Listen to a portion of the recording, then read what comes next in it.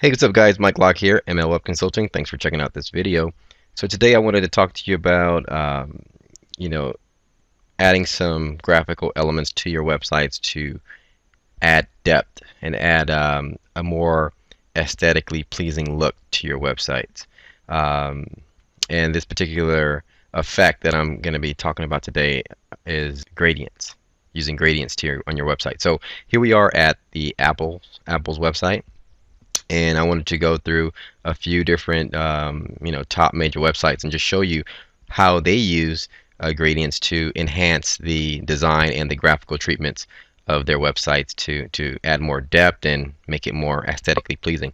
So right off the bat, you notice at Apple they have a gradient as their background goes from a light, a white to a soft gray. And one of the things about gradients, if you, if it's done well, it's it's very subtle and you won't even notice it. You'll just notice that the page looks really polished, but you won't actually notice the gradient. And that's that's done. That's when you you know you've done a good job in using gradient. So they do that there on the background. Look at these containers that they have. That these four containers that Apple uses.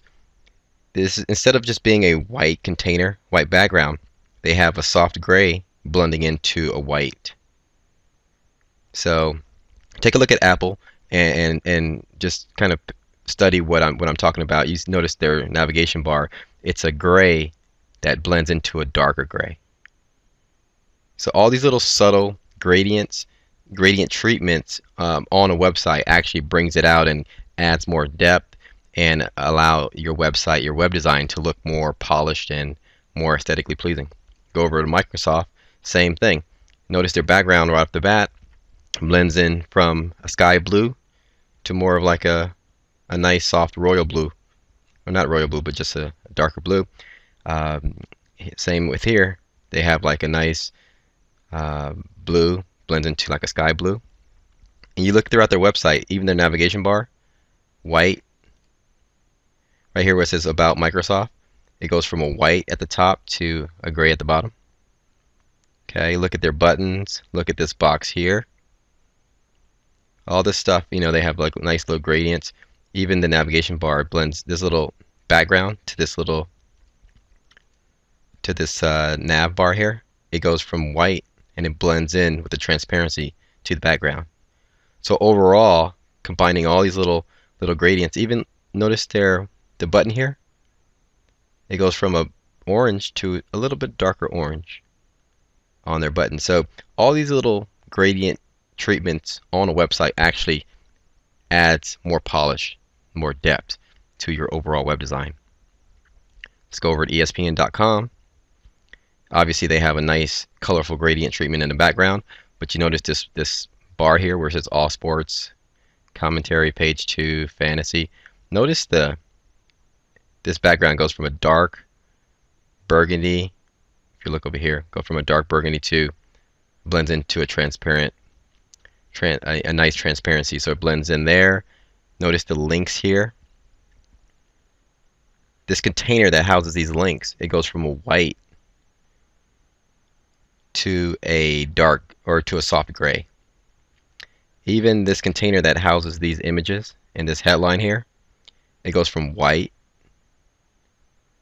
to a soft gray at the bottom.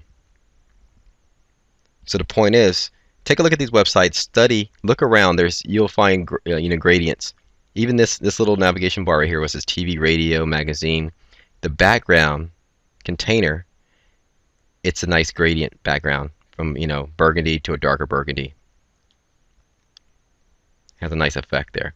So all these little gradient graphical treatments add depth and overall polish to you know the website and um, once you combine these well it should it should add um, be a, be a, a, good thing for your for your website and bring it out. Um, let's go over to to Fireworks. I just want to show you how to easily create something like this. So the container, let's say whatever you're you're designing, whether it's a button, a container, a background container that house um, some some information. You when you first design it, you just start off with a box, and you add a nice gradient to it Okay, now this is what I would consider a, a hard gradient where you you have a dark color that blends into uh, a very high contrast light color. So it's a dark gray. So what I would recommend is going with more of a soft gradient where the dark color is actually light. Something like that. So that it's actually a subtle transition. It's a soft transition. So in this case I'm using a gray, you know, but any color would do, any light color.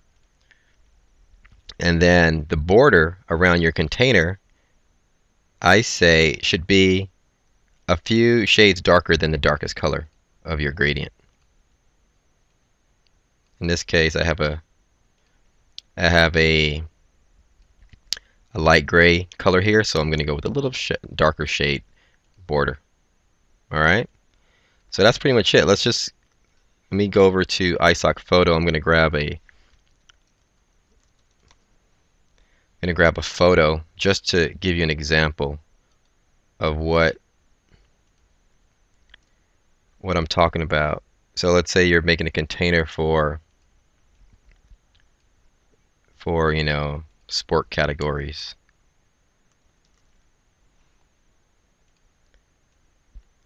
You see? So so here's a nice soft uh, nice polished box. If you if we do the same box and not have the gradient let's do a, a, just a gray. If you look at these two you notice the difference. This one on the on the left is more polished and all all we did was add a soft gradient and the one on the right is a solid color and it doesn't matter which color you choose it's just doesn't give you the same doesn't give you the same um, effect that a gradient that a gradient gives you. You know, so point is go with the gradient, use the gradient, you know, on your website in different places, and it would add more um, more depth, more uh, more polish to your design, and make it more aesthetically pleasing. All right, so just wanted to show that little tip for you today. Um, it's something that I use throughout my designs, um, something that I've learned from all the the major websites out there. I just studied these websites and sort of apply these techniques to to my designs, and um, um, it's been been helpful for me and successful in, in, in my design career. And uh, maybe you can use it as well. All right, so use that tip, use gradients, and uh, we'll talk soon. All right, if you have any questions, shoot me an email, mlock at mlwebco.com, and uh, we'll catch up later. All right, bye bye.